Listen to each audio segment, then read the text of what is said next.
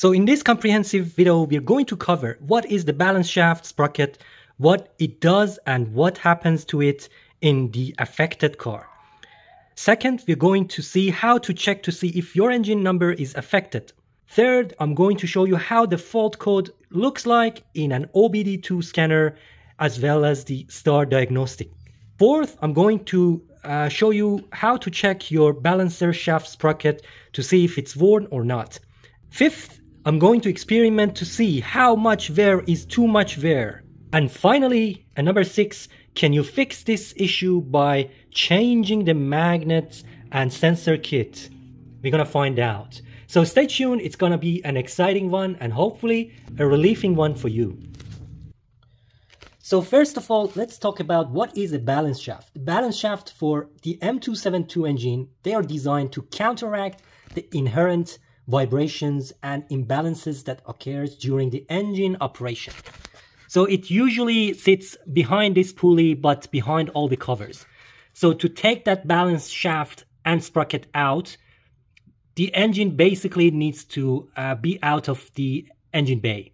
It's above the uh, crankshaft and in M272 engine uh, for the early years 2006 and 7 the sprocket is not the high quality material so it wears out prematurely so the cam chain goes around the cam sprockets the intake one and the exhaust one is geared to the camshaft for the uh, intake so we will have two camshafts which has sprockets and the cam chain around them. And it goes down to the, the balance shaft sprocket and goes up to the right hand side bank. So if that balance shaft sprocket wears, it causes the excessive slack of the chain. And that chain on the right hand side, because the engine rotates the clockwise, it first rotates the left hand side cams and then second the right hand side bank. So it always affects the right hand side bank and it produces a slack and a delay in the timing of the right hand side bank. That what happens when your sprocket is worn out. It also produces noise in excessive conditions because there would be a lot of slack in your cam chain. The problem is some of those particles from that uh, balance shaft sprocket might end up in your oil and in your system, which is not good for your engine. Also, if that continues the wear on your sprocket, that can ultimately cause a timing chain and timing system catastrophic failure to your engine. There has been some recalls on this and fixes by Mercedes-Benz, but in not in many countries, unfortunately. The second topic is how can you check to see if your engine is affected. So you need your VIN number first of all, and then you need to put your VIN number in a website that I provide you in the description. And then you can see engine number of your car and then if your engine number is within these two uh, numbers, engine numbers, your engine is affected with lower quality balance shaft sprocket. So make sure to refer to the description to go to that website and check that for yourself. Okay, what about the fault codes? The fault codes are the famous P0016 and P0017 that you would read on any OBD2, a proper OBD2 scanner. So now your car might have 200K on the clock and maybe the previous owner has rectified this issue. How you want to check this? If you do not have any cam uh, chain symptoms like the codes, the fault codes, or the noise, you might ignore this. But if you would like to check and you have the code, the fault codes, checking is not very difficult. This is the way you need to check. First of all, you need to remove two sensors, one from the right hand bank and one from the left hand bank. These are the camshaft sensors. So you really need to take the camshaft position sensor from the intake side. So that's the intake side and that's the exhaust side. As you can see, the exhaust is on that side of the engine. So you need to take that as well as as well as that. The sprocket for the exhaust cam is geared to the uh, intake sprocket. So you don't need to check those. But I have removed them out of curiosity. So once you remove your sensors, you need to come down here. You need a 27 millimeter socket with a long handle ratchet. Once you set it at 305 degrees like that, as you can see over there, you will see that in this camshaft position sensor hole, this circle marking, which is a part number, is exactly in the middle of the hole. So now what you need to do is, so that's the left hand bank and the camshaft sensor is the intake camshaft. So now you need to come here and check this camshaft position sensor hole. And what we need to see over here is, is without changing the position of the crankshaft pulley, this should sit in the middle. As you can see, this is not exactly in the middle, but after 200,000 kilometers on the clock, my cam chain should have some slack into it. I think this amount of slack and not being in the middle can be okay, but there is one way of checking this. So what I do now, I'll go ahead and replace all of the magnets, the four magnets and four sensors. The magnets are the black ones with three bolts on them and I will change the sensors as well. If those magnets are faulty, you will have the same uh, fault codes coming through. So what I need to do is replacing everything for magnets and four CPS camshaft position sensor. So now let's go ahead and replace these to see if that makes any change. This kit you can buy from eBay or any other uh, store. I have bought this complete set for 170 Australian dollars. There is also one benefit in uh, replacing these CPS and you see that rubber seal over there. These leaks over the time. So these are brand new and hopefully they're going to last some time and avoid the oil leak all over the engine. In this case, the part number for these uh, sensors are 27290504143. And as you can see, the old seals were leaking so badly and I had all sorts of leak around these sensors. Of course, these sensors are original, as you can see. So I have removed all four CPS. One quarter of an inch spanner did work, the ring size, of course, on this area, which has little access. So you don't have to take anything. I have seen videos, people taking these off only purely because of uh, those magnets removal. So it is possible with even one quarter of an inch uh, spanner.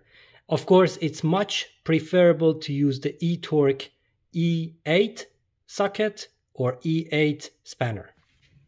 But all is removed, I just need to pull them out.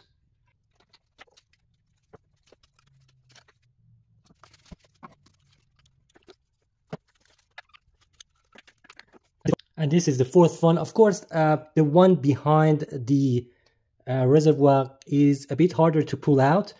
Uh, I'm not sure if you need to remove those three bolts for the steering uh, wheel uh, hydraulic uh, reservoir or not. But I have taken those three bolts already. Okay, here's the new part and it does come with a new seal which is very good. It's recommended to lubricate these seals before putting back.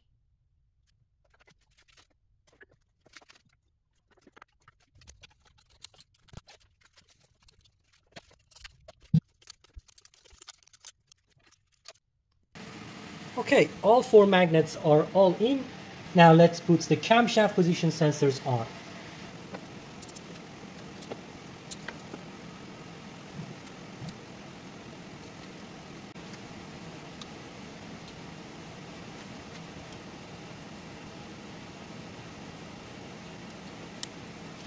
Okay, all the sensors uh, were replaced, uh, four magnets and four CPS, and it took like half an hour. Although this space over here, depending on your tools and what you have, uh, it might take a bit longer. Next, let's go ahead and clear the codes because previously, no matter what, the codes would come back even after clearing the codes. So I'm now going to clear the codes and start the car and check to see what happens. Okay, 200,000 kilometers on the clock and we have the check engine light on. Okay, let's clear these codes.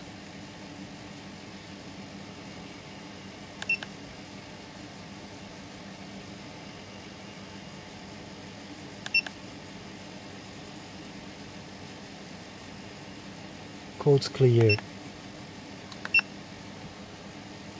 Read again.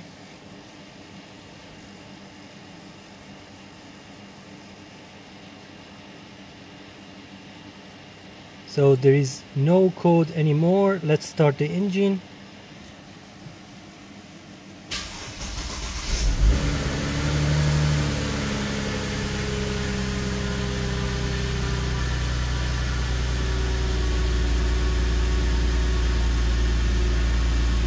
and the four and for the first time as you can see there is no